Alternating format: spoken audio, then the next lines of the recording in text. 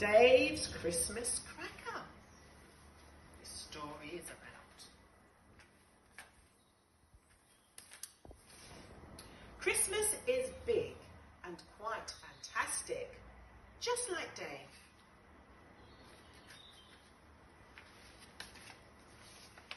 Dave loved Christmas because everything was bigger and better. Tickles were bigger, naps were bigger, and the dinners were quite frankly enormous. It was Christmas Eve and everyone in the garden had hung up their stockings. So had Dave. This is Dave. Everyone in the garden had made a special snack for Father Christmas.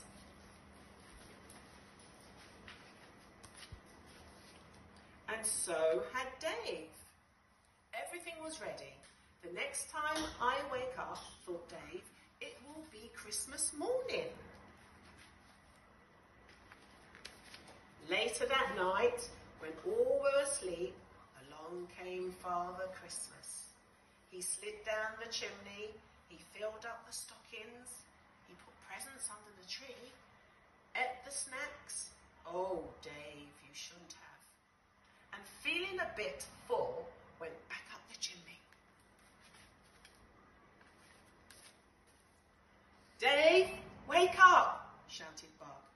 It's an emergency.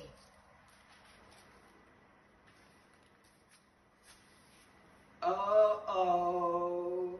Father Christmas was stuck up the chimney. Oh dear. The animals got together to help set Father Christmas free. Dog thought he'd scare him free. Rabbit thought he'd tickle him free. And Mouse had a pointy stick. No, no, no, shouted Bug. There's only one way to set him free.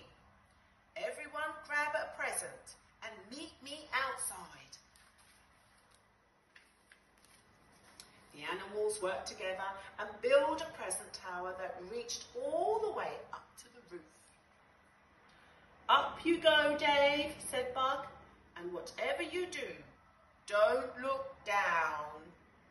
Up Dave climbed, higher and higher and higher, until he reached the top. Finally, Dave was in position. It was time to send in the sprouts. Everyone load their buckets and aim for Dave's head, shouted Bug. Dog dangled sprouts into Dave's mouth.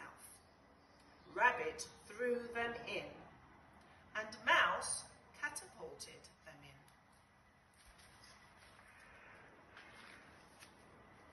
Dave shook, the chimney shook, the house shook. Everyone pretty much knew what was about to happen. Five, four, three, two, one. Blast off! What happened? Yes, he's free. Father Christmas is free from the chimney.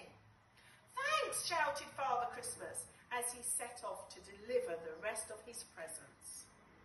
Just one mince pie for you next year, thought Dave. Hang on a minute, I think I'm stuck. And that's poor Dave, look. Now he's stuck in the chimney. Oh dear.